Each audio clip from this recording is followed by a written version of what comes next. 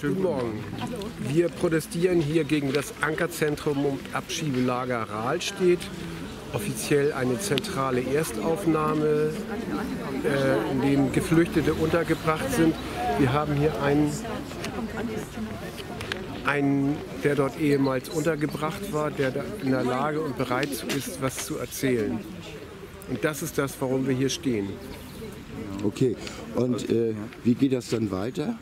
Also wir haben ja vor, zu, genau zu, diesem Erst, zu dieser Erstaufnahme Rahlstedt weitere Aktionen zu machen. Wir finden eigentlich schon seit über zwei Jahren, dass in dieser Erstaufnahme Menschenrechte verletzt werden, dass Menschen, Geflüchtete, die dort ankommen, ähm, kein keine Möglichkeit auf ein faires Asylverfahren haben, weil innerhalb von einer Woche das Asylverfahren durchgeführt wird. Traumatisierte Geflüchtete haben keine Chance, sich zu regenerieren, sich darauf einzustellen, auf das Verfahren. Es mangelt an Rechtsberatung. Wir erleben immer wieder, dass Geflüchtete zu uns kommen, die eigentlich gar nicht wissen, warum sie zur Rechtsberatung gehen sollen, wie wichtig das zum Beispiel für das Interviews, für die Anhörung ist.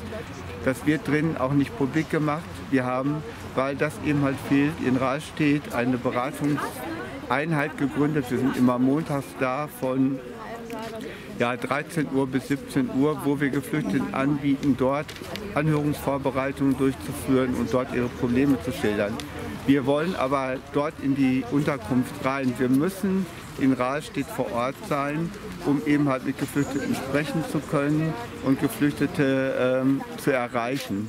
Und wir finden es unmöglich, dass die Geflüchteten dort in großen Hallen leben müssen, mit in Räumen, wo die Decken offen sind, wo das Licht morgens zentral angemacht wird, abends ausgemacht wird, wo eine immense Lautstärke ist.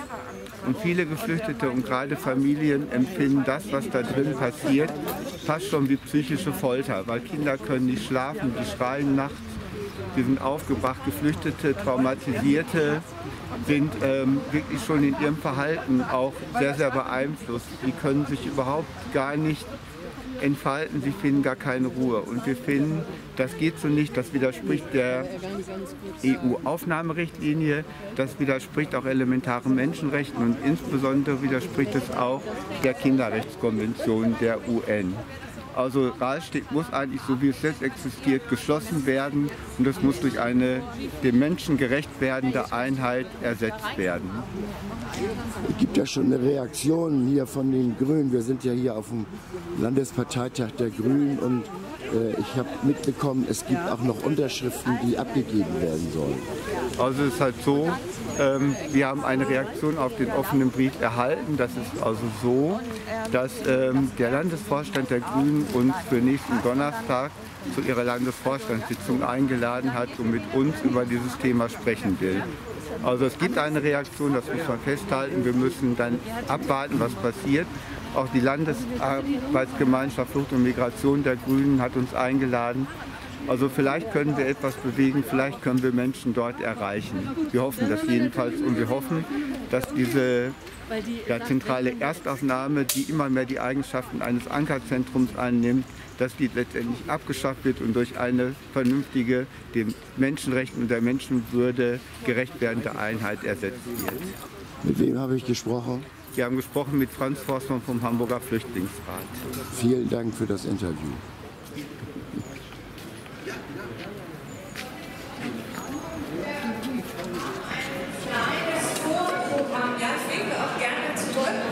Ihr hört mich, wir haben ein kleines Vorprogramm vor Eintritt in die Tagesordnung, werden wir dem Flüchtlingsrat ein, die Gelegenheit geben, uns einen offenen Brief zu verlesen. Und ich bitte dafür um eure Aufmerksamkeit. Es ist ja so ein bisschen, wenn man ansteht hier und die Stimmkarte abholen, muss man sich nicht unbedingt unterhalten. Das könnt ihr auch später machen. Vielleicht mögen auch die Leute, die da draußen den Kaffee holen, nochmal reinkommen, weil es geht schon um ein wichtiges Thema, was uns Grüne auch immer wieder bewegt und wo wir auch nicht so vorankommen, wie wir uns das gerne wünschen. Im Detail nochmal, es wird die Verlegung eines offenen Briefes geben, es wird eine kurze Rede von einem Betroffenen aus, dem, äh, aus der zentralen Erstaufnahme in Wahlstedt geben und unsere eigene politische Positionierung dazu, das, was wir innerhalb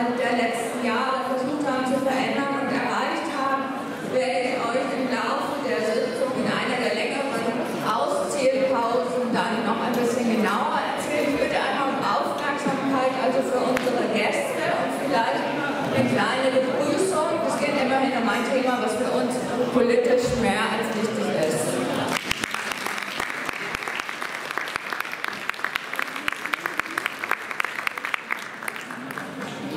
Ja, guten Morgen, meine Damen und Herren. Vielen von Ihnen sind eben schon begegnet.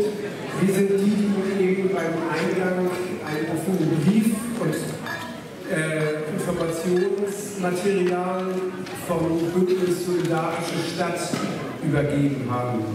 Wir sind alle ähm, Menschen aus antirassistischen Netzwerken, die in diesem Bündnis Solidarische Stadt organisiert sind. Und die meisten von uns arbeiten seit Jahren, zum Teil seit Jahrzehnten, gegen Abschiebeknäste und Lagerunterbringung von Geflüchteten.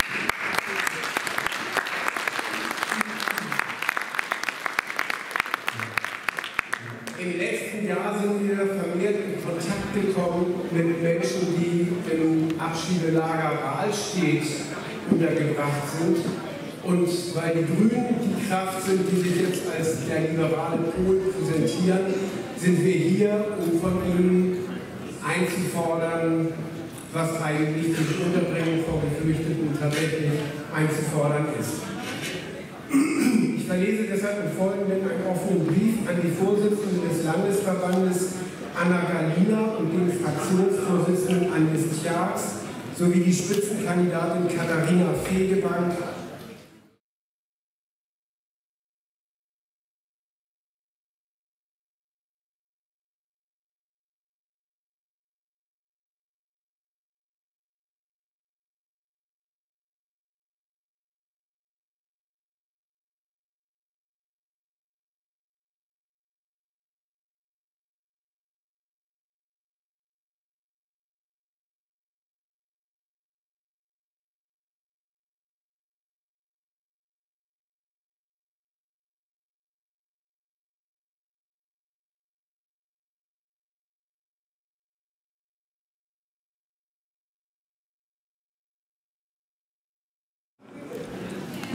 Guten Morgen, guten Tag, äh, ja, Mitglieder der Versammlung. Äh, mein Name ist äh, Rogier Sekar. Äh, ich äh, übersetze heute äh, auf Persisch. Äh, der heutige der hat in Heim gewohnt. Er möchte ganz kurz Ihnen berichten, wie die Situation dort ist. Dann darf ich übersetzen kurz. Ja. سلام. گوتن مورگن. خیلی ممنون که وقت دادید وقت خوبایی دادید که صحبت بکنم. در مورد مشکلات. Herzlichen Dank, dass Sie mir Zeit gegeben haben, dass ich kurz darüber berichten kann. من خلاصه میگم بزرگترین مشکلی که توی این کمپ وجود داره مشکل امنیت بچه هاست Ich will nur kurz berichten, dass die Kinder dort gar keine Sicherheit haben. Einschränkungen für die Kinder sind sehr stark. چه از نظر روانی چه از نظر آموزشی چه از نظر اه، جسمی Äh, Also die Kinder